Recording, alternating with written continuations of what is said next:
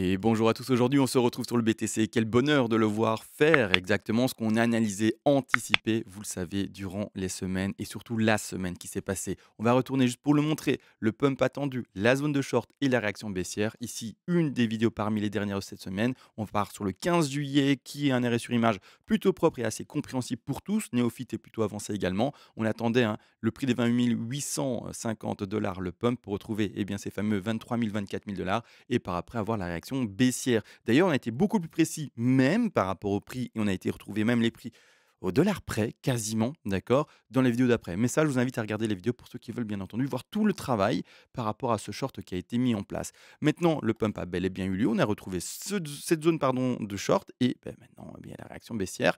Et donc, tout se passe bien. Malgré tout, nous, aujourd'hui, ce qu'on va faire, ben, c'est analyser quoi? Non pas ce qui s'est passé ici à gauche, la WXY, comment on a trouvé la zone de short, etc. C'est dans les vidéos précédentes. Ceux qui veulent savoir comment on a fait, ben, les vidéos précédentes, tout est expliqué, tout est vu de manière technique. Nous, maintenant, on avance. On a déposé le haut de 4 et on est enfin dans la chute. D'accord? Donc ici, on va travailler quoi? La dernière 5. On va zoomer là-dessus, expliquer ça. Et également dans cette vidéo aussi, en fin de vidéo, on va regarder le cycle qu'on est en train de construire. c'est-à-dire le bear market de cette année 2022, et voir si ce bear market, par rapport aux deux derniers bear market avec un cycle complet, parce qu'il y a eu un troisième avant, mais malheureusement, le cycle n'est pas complet. On va en parler d'ailleurs, mais voir est-ce qu'on est dans un cas exceptionnel ou au, contraire, on est dans un cas tout à fait normal, hein, tout simplement, qui est en train de se répéter par rapport à ce qui a été fait précédemment. D'accord? Toujours un travail sur l'historique, etc. Et par rapport à ces répétitions-là. Mais non, on va zoomer. Et d'ailleurs, je suis en délit, c'est une trop grande time frame pour travailler ce qu'on va faire maintenant. Parce que nous, ce qu'on va faire, eh bien, c'est une petite time frame. D'ailleurs, je vais passer en horaire pour ça. Et nous, ce qu'on va faire, c'est quoi? Eh bien, installer ensemble des vagues blanches. Alors, les vagues blanches, elles sont où? Elles sont comment? Le rectangle rouge, je vais d'ailleurs le mettre légèrement en retrait. On a compris, c'était la zone de short. Ça a été pris pour ceux qui voulaient la prendre, etc. Euh, donc, on la met juste en légèrement en retrait. Comme ça, on a quand même la référence. Mais voilà, au moins, on la voit moins. Et nous, ce qu'on va indiquer aujourd'hui, c'est un travail sur une. D'accord? Ici, je pars à racine. si j'arrive à l'intégrer, je pars ici. Je pars sur une 2 et d'ailleurs, je vais la mettre à côté, je vais vous expliquer pourquoi. Ensuite, une 3, une 4 et puis une terminée, une 5. Quand on aura fini le décompte de la 3, 4 et 5, eh bien, pour ma part, je terminerai ma grande 5 ici. Et cette grande 5, en fait, est la fin du puzzle entier, finalement, qu'on tient ensemble depuis maintenant quasiment 8 mois. oui, hein, c'est ça, quasiment 8 mois. Elle est un peu encore, 7 mois plus tôt. Et ce puzzle, c'est plein de petites pièces qu'on remplit ensemble. Et enfin, on arrive à la dernière. Enfin, on se dit, ben, on arrive près du bottom. Et là, enfin, on a une réelle envie de dire, ben, on va switcher d'enfin ce marché vert à un marché boule. Mais on n'y est pas encore. Il reste encore une pièce pour ma part à construire et à compléter. De cette manière-là, premièrement, ben on va enfin zoomer d'ailleurs, parce que je dis beaucoup enfin aujourd'hui, je ne sais pas si vous l'avez remarqué. Mais euh, donc j'ai ma première une, pas de problème. D'accord? Maintenant, il me faut ma deux. Je pourrais la poser là. Je pourrais la poser là, mais c'est trop précoce selon moi. Et il faut attendre une confirmation soit d'écrasement beaucoup plus fort, je dirais bah, ok, la 2 a été là, mais au contraire, je préfère rester prudent et surtout prudent pour qui et pourquoi? Pour ceux qui sont en trade. Votre stop loss, rappelez-vous, de base, il est posé légèrement au-dessus des 25 000. C'est-à-dire que maintenant, si vous commencez bel et bien la construction vers le bas, vous pourriez le rentrer à votre point d'entrée. D'accord? Et pas obligé, hein, pas obligé parce que voilà, clairement, il peut y avoir une faute de décompte, qu'on fasse un petit rebond, qu'on ne dépasse, n'empêche pas ces 25 000 et puis qu'après on récrase. Donc attention à ça. Mais pour les plus agressifs, la position la plus agressive selon moi serait de déplacer son stop ici aux alentours des 24 000, 24 300 dollars, mais surtout ne pas le descendre plus bas. Là, c'est plus du trop agressif, c'est du je me suicide, d'accord Parce que, je vais l'expliquer maintenant, je m'attends, donc je remets mon, stop loss là-bas en haut à 25 000 pour ceux qui sont les plus défensifs, euh, mais c'est-à-dire que là maintenant, je m'attends n'empêche à un rebond. Alors pourquoi? Parce que là, clairement, hein, par rapport à cela, eh bien, je m'attends à ce que la 2 revisite de nouveau les 50 à 61,8% de Fibonacci, c'est-à-dire je vais mettre le, le, rectangle ici, on le sait, c'est la zone théorique dans laquelle on va retrouver les rebonds de 2, théorie à hauteur tout de même de 73% des cas. D'accord La plupart du temps, on va retrouver la 2 qui se finit là. Là, la 2, si je vais l'arrêter là, elle n'est pas normalement dans ce cas théorique. Donc je m'attends premièrement à une consolidation plus longue pour terminer dans cette zone théorique. En plus de cela, il faut comprendre une chose, c'est que pour le moment, l'écrasement qu'il y a eu n'est juste pas puissant du tout par rapport, attention, à ce mouvement-ci, cette consolidation horizontale. C'est-à-dire que quand on met notre Fibonacci de retracement, qu'on le place, on a seulement été chercher les 113 et même pas encore les 123. La théorie veut, et si on construit bel et bien une flat, qu'on aille chercher ces 123, 127% de Fibonacci en crypto-monnaie. Je précise, dans des marchés plus traditionnels, vous pouvez prendre n'importe lequel, mais hors crypto-monnaie, eh bien, on va plutôt favoriser les 113, d'accord? Dans ce cas-ci, nous, on favorise les cent les les les 123-127, donc normalement, on devrait n'empêche avoir encore un léger écrasement. Malgré tout, je ne vais pas partir trop dans la spéculation et j'ai juste indiqué la flat, d'accord? Donc ici, la flat en A, en B, qui devrait normalement écraser un tout petit peu plus. Si elle n'écrase pas plus, c'est pas grave, on la posera là et on ferait le travail après, par rapport, eh bien, finalement, à ce réel bas qui a été vu, d'accord? Mais moi, je vais le poser là où on l'attend théoriquement. Et enfin, le dernier sursaut du BTC avant de s'écraser logiquement dans le plan de trading que je mets devant vous. Les objectifs de ce rebond, donc s'il y a quelqu'un qui se dit, moi, j'ai envie de jouer ce petit rebond de consolidation possible parce que je fais du trading à haute fréquence, je fais du, euh, voilà, du trade en horaire, je fais du trade en quart d'heure, peu importe, hein, vous aurez compris, vous pouvez le faire. C'est pas du tout quelque chose qu'il faut euh, mettre de côté. Vous avez votre propre risque management vos propres, euh, voilà, votre, vos, propres pardon, convictions par rapport au trade que vous voulez, oui ou non, ouvrir.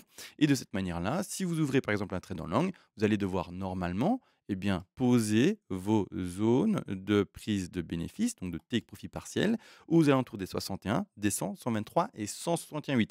Malgré tout, également, là je vais vous mettre quelque chose en, évi- en évidence. Donc Là, par exemple, zone d'achat, d'accord? Ouverture de de trade en langue dans cette zone-là, soit maintenant, soit un peu plus tard si vous croyez que ça va également un peu enfoncer plus, peu importe et à ce moment-là, en fait, vous aurez votre première zone de take profit partiel, la deuxième, d'accord? C'est en rouge étant donné que c'est de la vente, d'accord? On achète en bas et on on revend quand ça monte, ça c'est pas compliqué, d'accord? Ensuite également du 123 et du 161,8. Malgré tout ici, les 161,8 dans cette configuration de plan de trading, c'est-à-dire dans une chute et avec une racine, donc ici en blanc D'accord? J'essaie de la prendre en blanc ici, qui commence là. Normalement, une 2, parce que cette C complète quoi? La 2, ne pourra pas en fait dépasser sa racine. Donc voilà, là ici les 161,8, je mettrai un tout petit TP ou alors voilà, je ferai en sorte de ne même plus avoir de TP, mais avoir juste vous le savez, quand on ouvre un trade, l'objectif c'est de le clôturer le plus tardivement possible, d'accord? Voire même jamais le clôturer, d'accord? C'est-à-dire que ce qui va nous sortir finalement de son trade, c'est la plupart du temps un stop profit, d'accord? Parce qu'on aura pris tous nos, take profits partiels, le cours va continuer dans les directions qu'on n'avait pas imaginées, ou en tout cas pas avec cette ampleur-là, où sont mes petites flèches? Pas avec cette ampleur-là. Nous, on voit quoi? On voit un pump qui devrait s'arrêter dans cette zone-là. Ou alors aller chercher maximum celle-ci. Celle-ci, on va pas la privilégier. Mais malgré tout, si le cours il fait ça, et que petit coco là-bas en bas, il a ouvert son long, d'accord? Sa position de pari haussier, eh bien, qu'est-ce qui se passe? Il ne vend jamais toute sa position, il laisse peut-être 15% dans la course et ces 15% là vont être profitables parce que le cours continue à monter, d'accord? Continue à monter et cetera. Attention, ce stop loss ce stop loss là, cette ligne blanche ne concerne pas ceux là-bas en bas. Là-bas en bas, vous mettez un autre stop loss, d'accord? Bon, là, je vous laisse faire parce que sinon je fais tout le travail. Et normalement, ceux qui tradent de toute manière, vous avez votre risque management, une certaine connaissance, etc. Et les néophytes, normalement, vous ne tradez pas. Je suis désolé, vous faites peut-être de l'exercice, mais vous ne tradez normalement pas avec des sommes plus importantes. Vous faites l'exercice avec des micro-sommes pour vous entraîner, mais c'est tout. D'accord?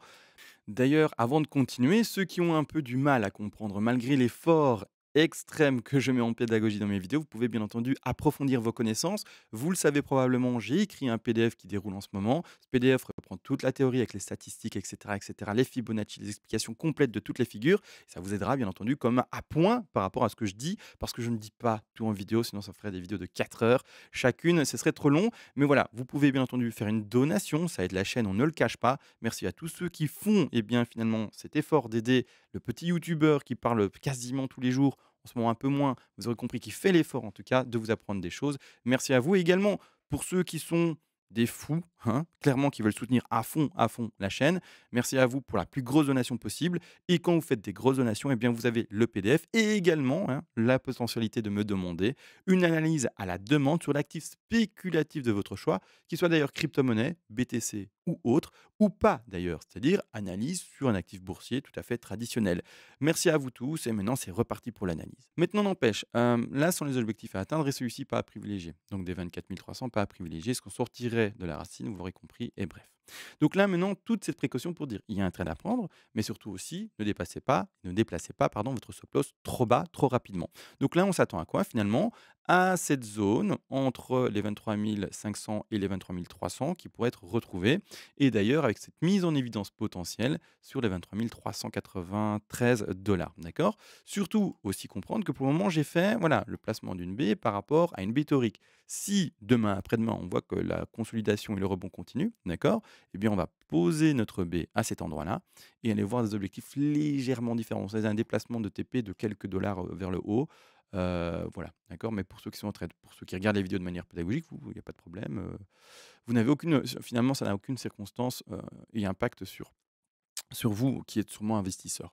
Donc de cette manière, on s'attend normalement à une consolidation et un petit rebond et par après, bah, c'est le travail qui va être fait durant les jours et semaines à suivre si le plan se passe bien, mais c'est la con construction à la baisse. Donc là, on travaillera une 3, on travaillera une 4, on travaillera ensemble une 5 et cetera. Ce que je n'ai pas faire aujourd'hui parce que sinon la vidéo sera trop longue et on va parler de choses qui n'ont pas de sens pour le moment, d'accord? Il faut d'abord des validations, heu, de baisse et cetera plus fortes pour pouvoir travailler tout le reste. Pour le moment, il y a aucun sens à le faire, heu, bien entendu. Maintenant, heu, également, juste préciser, on s'attend et ça c'est important, on l'a fait dans les vidéos précédentes, mais normalement à soit un double bottom, soit ici un 14 000, soit également un 10 000 par rapport aux zones à privilégier dans la baisse. Je rappelle, il n'y a pas de lecture d'avenir, donc je ne vais pas vous dire on va d'office à 14 489 Non, d'accord? Ici, c'est un plan de trading. C'est pour ça qu'on prend des bénéfices avec palier. Je rappelle du coup aux investisseurs qui ne comprennent pas la nuance entre un plan de trading et un plan d'investissement. Un investisseur, lui, en termes de plan, qu'est-ce qu'il va faire? Il va acheter par palier. Ça s'appelle du DCA pour le terme plus technique et par palier de temps. Et il va dire bah, je vais acheter à partir de maintenant parce que je trouve que le BTC il a bien chuté. Et effectivement, si tu te dis ça, eh bien, tu as totalement raison. Le BTC a bel et bien chuté de manière assez correcte, d'accord, par rapport à cela. Ici, tu te dis, bah, maintenant, c'est une bonne opportunité pour rentrer dans le marché. Bah, let's go. Et tu achètes, par exemple, hein, c'est juste un exemple, hein, un peu toutes les semaines, un peu toutes les deux semaines, un peu tous les trois jours, peu importe. Mais tu vas faire ça sur un temps assez important, d'accord Un temps qui peut être compris entre six mois et un an et demi, voire deux. Mais c'est-à-dire toute cette zone d'accumulation qu'il y a avant la phase de halving. Ça, on en a parlé également dans une vidéo précédente. Bref, d'accord Donc là, voilà pour eh bien, le décompte Nilo Où est-ce qu'on en est? On est dans une toute petite vague. On vient d'entamer pour moi la 1 terminée, une petite 2 et par après écrasement 3, 4 et 5 pour aller retrouver des plus bas.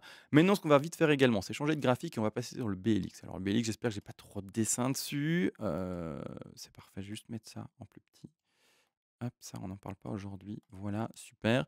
Euh, moi, ce qui va m'intéresser aujourd'hui, finalement, c'est de voir le développement qu'a eu eh bien, le crash actuel jusqu'au au jour d'aujourd'hui par rapport aux phases de crash précédentes, c'est-à-dire pendant les derniers bear market et surtout pendant le bear market de monthly, ce sera plus simple pour moi. Pendant le bear market ici d'année 2018-2019, pendant le bear market également, quand on remonte un peu dans le temps, euh, de l'année 2014-2015, et également pendant le bear market, il faut en avoir conscience, d'année 2010 à 2000, moi j'exagère 2010, 2011-2012, d'accord? Malgré tout, ici, je veux quand même mettre en évidence une chose. On va parler de deux bear markets qui sont complets visuellement, d'accord? En termes de prix, on peut les facilement les observer. Ce sont eh bien, les bear markets d'année 2015-2016 et les bear markets d'année 2018-2019. Mais euh, le bear market ici d'année, il commence en 2011, 2011-2012. Malheureusement, on n'a pas de données historiques avant, d'accord? Pour moi, il sort un peu de la norme parce que c'est un peu comme s'il avait dû en fait faire son, cycle de manière accélérée. Mais non, là, c'est une interprétation de ma part. Peut-être que si on avait tout l'historique, etc., visible et que tout, tout serait nickel euh, par rapport à la lecture possible, euh, bon, ça aurait été différent. Mais vous le comprenez, il y a quand même une date, un moment avec le bloc, euh, le premier bloc qui est en janvier d'année 2009, si je ne me trompe pas, etc. Comment ça s'est passé à ce moment-là, etc. J'étais pas là pour le savoir. Comment est-ce que, bref, le cours a été. J'en ai aucune idée. Vous comprenez Moi, je vois ce que le, cours nous donne à partir d'année euh, juillet d'année 2010. Je n'ai pas ce qu'il y a avant. Et donc, voilà, techniquement, je ne peux pas travailler dessus. Donc là, on a peut-être un cours atrophié et qui va expliquer finalement un crash qui n'a duré, et parce que du coup, le travail commence maintenant, qui n'a duré que euh, l'outil, l'outil, l'outil. L'outil, l'outil, l'outil. Où est-ce qu'il est l'outil? Il est ici. Donc ici, on part par rapport au top jusqu'au bottom, d'accord? Et qui n'a duré finalement que 153 jours. Donc moins d'une demi-année, d'accord? Maintenant, quand on va regarder un cycle complet, d'accord? Un cycle complet, c'est 210 000 blocs.